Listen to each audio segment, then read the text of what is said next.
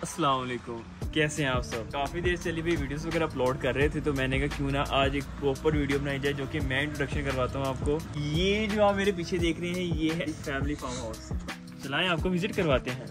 चलो चलो। हम अपनी फैमिली के साथ, अपने कज़न के साथ, अपने दोस्तों के साथ में ईच एंड एवरीथिंग सबके साथ गैदरिंग के साथ हम अपना ये वाला व्यू इंजॉय कर सकते हैं।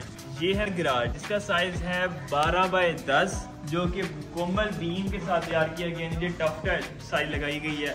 प्रॉपर एक रेंज साथ किया गया कि गाड़ी का साइज़ का इसके मुताबिक है। उसके मुताबिक एंट्रेंस करते साथ ही गाड़ी रिवर्स करके बैक करके इजीली बंदा यहाँ पे लगा सकता है। साथ ही मेरी इधर की तरफ़ आता है मेन रोड ये घर का मास्टर बेडरूम जो कि बनाया गया है। हमारे कोई बड़े आते हैं ऐसे कुछ आते हैं, हम इसमें स्टे करवाते हैं। ये है वो मेन रूम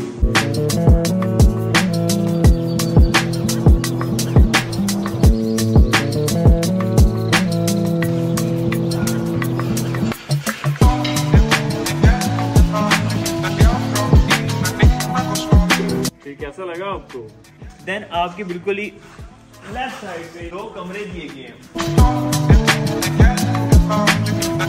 राइट साइड पे और लेफ़्ट साइड पे दो दिए हैं कमरे जिनका साइज़ है चौदह बाई चौदह का।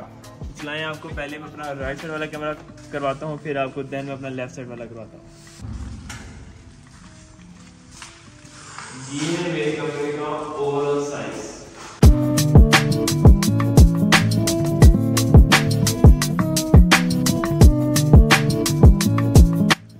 और ये मेरे फार्म हाउस का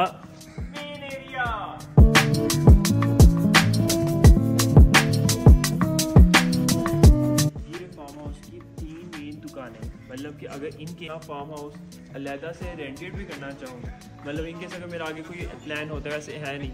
अगर इनकेस होता है कि मैं इसको रेंटेड आगे करूँ तो मैंने उसके लिए बनाई दुकान है दुकान दुकानें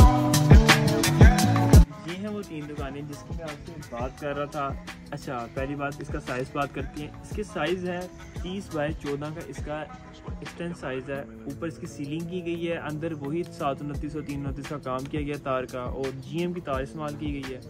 तो ये बाहर स्पेनिश की बाहर स्पेनिश काम ऊपर शीशे लगा दिए गए इसको लगने वाला रास्ता, जिसका साइज़ है तीन सौ फुट लंबी और चौबीस फुट चौड़ी। इसका ये एग्जैक्ट साइज़ है, हमने टफ टाइल वगैरह, बाकी वो मटीरियल मटीरियल मंगवाया हुआ है। इनशाला ये भी जल्द से जल्द कंस्ट्रक्शन इसकी शुरू करवा दी जाएगी और ये भी इंशाल्लाह आ जाएगी।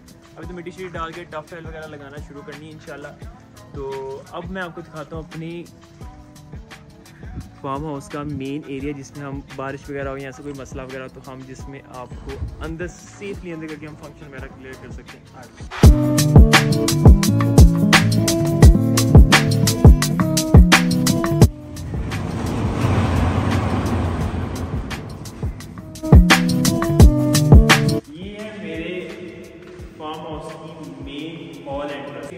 आपको इसके साइज़ की बात करूँ, इसका साइज़ है 120 बाय पैंतीस। इसका साइज़ एग्जैक्ट साइज़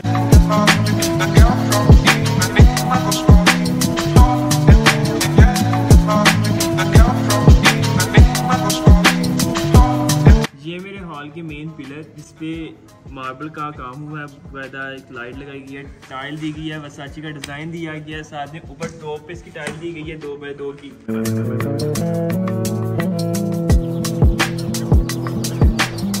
ये है फार्म हाउस के दो वॉशरूम और साथ में इसके साथ दिया गया एक बेसन इसका अच्छा है यूज़र है, साथ में इसका टावर दिया गया है। मतलब काफ़ी सी अभी कंस्ट्रक्शन वगैरह चल रही हैं।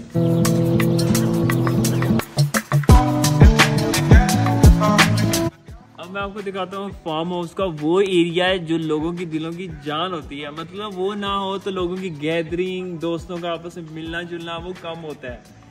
मोस्ट कह कह के तैयार करवाने वाली चीज़ बारबेक्यू एरिया चलाएँ ये है वो बारबेक्यू एरिया जो कि प्रॉपर एक मार्बल में तैयार करवाया गया है। अपनी शेल्फ दी गई है कि अगर बूफे सिस्टम किया जाए तो यहाँ पे खाने वगैरह रख दिए जाए।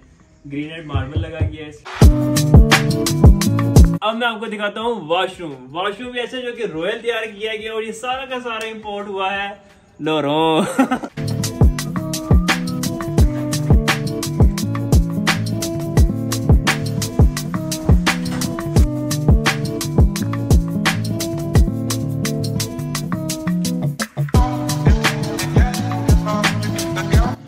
Roof top?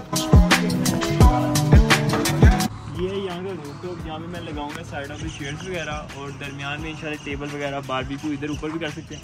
सामने बारबेक्यू मुकम्मल हो गया अब इंशाल्लाह, आधा कोई लगा ले, कोई थर्टी परसेंट रह गया, जो कि इंशाल्लाह पेंट वगैरह इंशाल्लाह करेंगे जल्दी और सारा कुछ इंशाल्लाह कंप्लीट हो जाएगा बाहर साइड बस रह गई